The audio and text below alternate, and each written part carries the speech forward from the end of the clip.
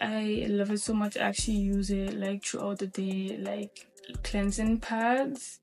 I know it's not for that, but I like to use it as cleansing pads. And just me, at the end of this, when you see the amount of dirt and